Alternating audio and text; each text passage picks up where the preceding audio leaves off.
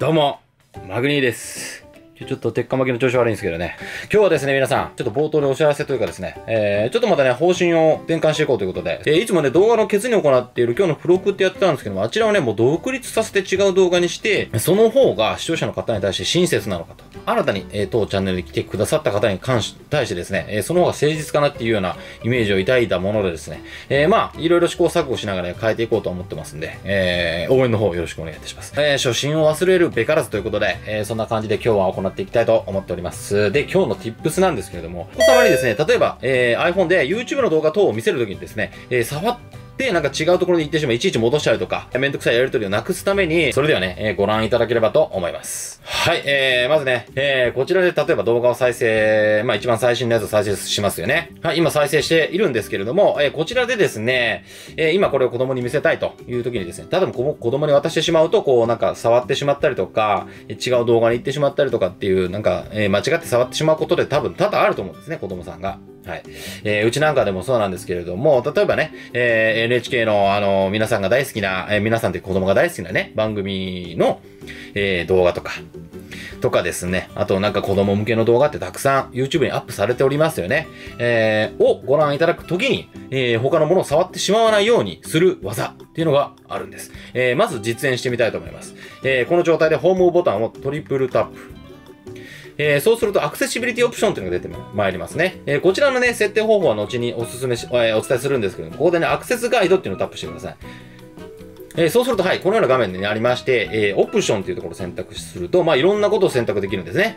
このアクセスガイドっていうのは、要するに何も触れなくなるというような機能なんです。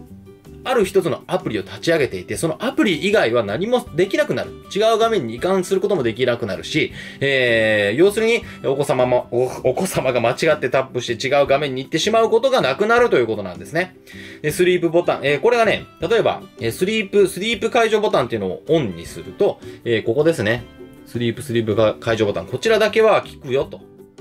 いうことになります。で、ボリュームボタンも効くと。これ、ボリュームボタンは効くよと。で、これ全部オフにしてると、全く何も触れなくなるよということなんですよ。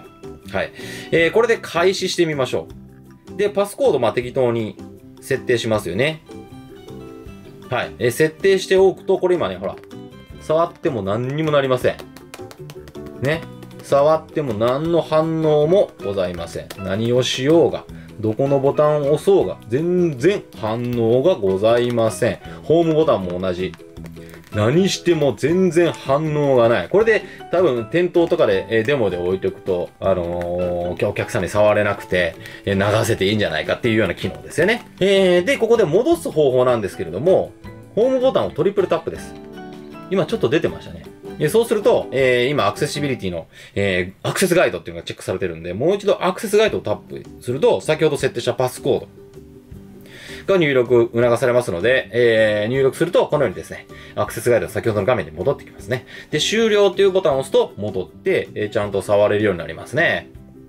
はい。えー、こういった機能でございます。えー、そして、えー、このアクセスガイドの設定方法なんですけれども、はい、もちろんね、設定アプリです。設定アプリの方にやってまいりまして、え、っとね、一般、そしてアクセシビリティというところがございますね。こちらに入っていただくと、まあ、いろんなサポートがあるんですけれども、ここでですね、一番下の方に行くと、アクセスガイドっていうのがございますね。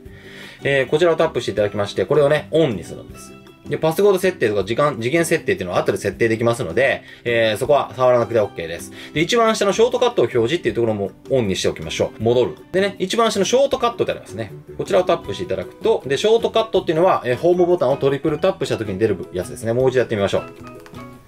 これのことですね。はい。えー、これに出てくる、えー、機能を、えー、設定できるんですけれども、これはね、全部オフにしなくても、えー、オンにしなくてもいいです。例えば、この3つオフにした状態で、今ね、この設定アプリ内では、えっと、アクセスガイドっていうのはね、機能、起動しないんですよ。はい、トリプルタップしても何の反応もありません。えー、もう一度 YouTube の方に行ってみましょう。はい、YouTube やってまいりました。再生しますね。えー、これで、トリプルタップ。あ、ほら、もう勝手に開始されました。えー、何も、もう何も反応しなくなりました。で、もう一度トリプルタップ。で、えパスコード先ほど設定したものを入力すると、またこの画面になって、終了。で、これで動くようになるというような機能でございます。えー、先ほどご覧いただきましたけども、ショートカットでですね、私の場合は、アクあアシスティブタッチっていうね、ボタンを出すやつと、グレイスケールとズーム機能って、まあ、オンにしてるんですけれども、これは皆様のね、好みでやっていただければと思うんですけれどもね、誰にも触れない、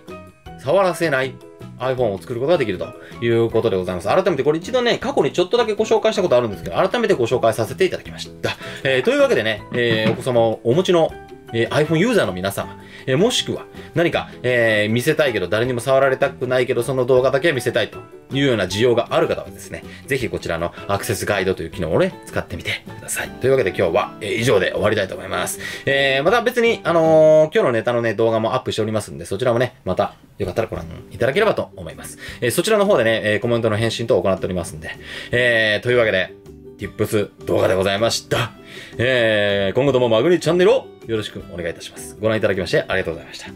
では。お主に iPhone のコンテンツを常に毎日更新している動画チャンネルでございますので、よかったらですね、チャンネル登録の方をお願いしたいんですけれども、動画をご覧いただいております、えー下の方にですね、赤いボタンが存在します。PC の場合はこちらをクリックしていただくとチャンネル登録をすることが可能となっております。そして、スマホ、えー画面は iPhone のものになりますが、下の方にですね、えーチャンネル登録のボタンがございます。こちらをタップしていただくとチャンネル登録することが可能となっております。登録していただいて、えー私のチャンネルを、動画を、えーご覧いただければなと思います。それではまた、次の動画でお会いしましょう。